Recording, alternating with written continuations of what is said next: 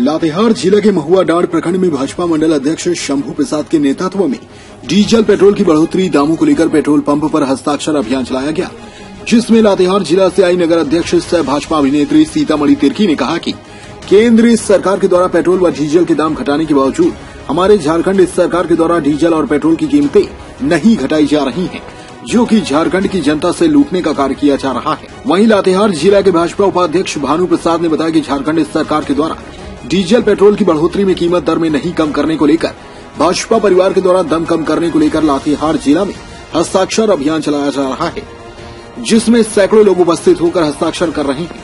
सरकार के द्वारा डीजल व पेट्रोल के दामों में कमी नहीं करेंगे, तब तक संघर्ष जारी रहेगा। इस कार्यक्रम में मुख्य रूप से अखिलेश उर्फ़ यमुना प्रसाद, संजय राय, शिवपाल कुमार, अजय कुमार, मोहन यादव समेत दर्जनों कार्यकर्ता मौजूद थे। लातेहार से बद्री गुप्ता की रिपोर्ट। डीजल सरकार के द्वारा कम किया गया है, केंद्र सरकार से। लेकिन हमारे राज्य सरकार का इस पर कोई असर नहीं कर रहा है। इसके लिए हम लोग आज पेट्रोल और डीजल की बढ़ोतरी में कम होना चाहिए हमारे राज्य सरकार में। इसलिए यह किया गया है।